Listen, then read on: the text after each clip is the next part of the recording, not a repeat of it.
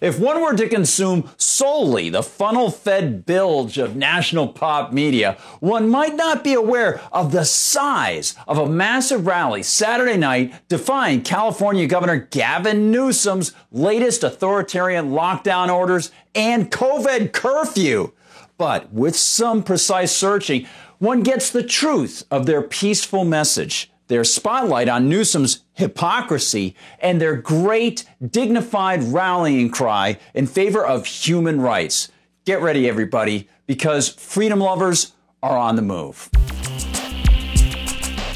Hi, everyone. I'm Gardner Goldsmith for MRC TV. You know, despite the state's image as a cesspool of collectivism, pockets of Californians have, for many years, stood tall against the authoritarians. From the days of the 1990s stoner rock scene and their concerts performed in the desert using generators and, of course, without government permission, and that gave rise to bands like Fu Manchu, Kyuss, and eventually Queens of the Stone Age, to the April rally in San Diego that saw locals speak out against Democrat Governor Gavin Newsom's earliest lockdown edicts, many Californians know their rights and they're willing to exercise them. Saturday, November 21st, saw folks from the Huntington Beach area show this in a powerfully memorable way. They are officially now breaking the statewide curfew that went into effect at 10 o'clock. They took to the streets to defy Newsom's recent curfew, his business closures, his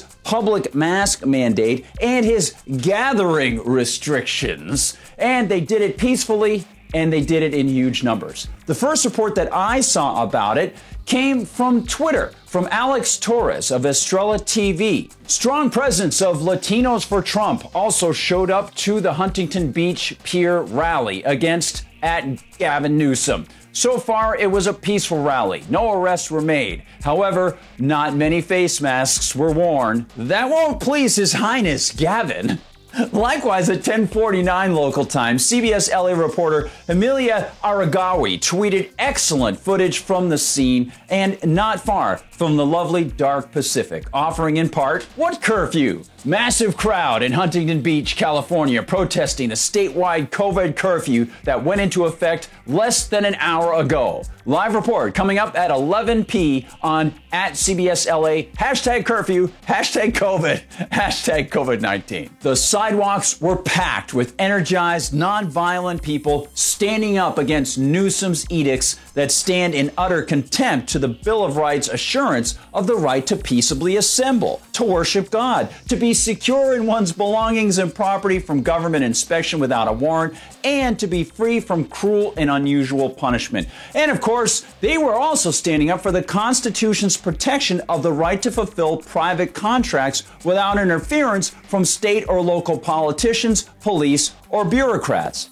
Sadly, and possibly as a way to undercut the sheer energy of the movement, Ms. Aragawi's television station downplayed the crowd size, claiming, contrary to what one's eyes can actually see in its tweet, that linked to her story for their KCAL CBS2 website knew what appeared to be dozens of people gathered on Saturday night in Huntington Beach to speak out against the state's coronavirus curfew that went into effect at 10 p.m. If only the count were there to count that stuff. One, one protester. Sorry, it's a lot more than a few dozen. Jeez. Anyone looking at the image attached to the tweet can see that even given its isolated perspective, there were more than dozens of rally participants. Of course, technically speaking, a hundred in a photo is dozens, but the rally was really immense, and the description falls far from the mark of accuracy. Still, Ms. Aragawi's live report and the article attached to it at the station website are to be commended for capturing the magnitude of the rally, its peaceful nature, and the sense that the participants engaged in civil disobedience for very important reasons. These would be reasons about which, as MRC TV's Nick Kangadis reported on November 20th, Newsom seems not to care, almost in the same manner as he doesn't seem to care to follow his own edicts. Indeed, Nick included in his MRC TV piece The news that, despite Newsom's orders telling others they couldn't go to nice restaurants, gather in big groups, or leave home without useless bacteria festering face diapers, he did all of these things last week and got caught at a posh, expensive soiree with lots of others who did the same. It was a very large group of people and shoulder to shoulder um, something that he's always telling us not to do. To be very clear, even if lockdown orders worked to stop the spread of COVID 19, which has been shown to be a false belief, even if COVID 19 obeyed curfews, and even if COVID 19 were deadlier than the seasonal flu, which is not the case, Newsom's orders would not only run contrary to the U.S. Constitution and most of the Bill of Rights, on a deeper philosophical level, Newsom could never claim the moral authority to stop people from peacefully meeting each other and taking their own risks. Such a stance is threatening and aggressive. And multiplied in many other states, it has resulted in a destruction of the U.S. economy. As Ethan Yang notes for the American Institute for Economic Research, the United States has turned a manageable disease into a catastrophe. Not only does it possess one of the largest number of deaths, but the economic lockdown policies led to a 32.9% drop in real GDP.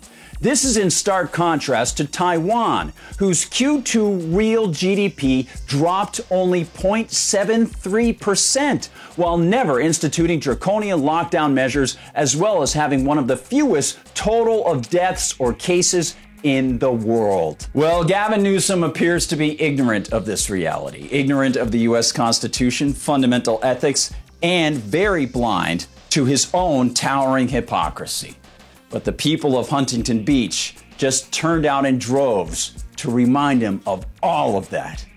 Thank you so much for watching, everybody. Big thumbs up to you in Huntington Beach and anywhere where you're standing up for your rights. Hey, if you're watching on YouTube, remember, make sure you're still subscribed. Please hit the like button and share. Of course, share and share alike. And if you're over on Facebook, we'll see you in there. I'll see you in the comments section on YouTube. See you on Twitter as well. I'm at Gard Goldsmith on Twitter. And please visit us on Instagram as well.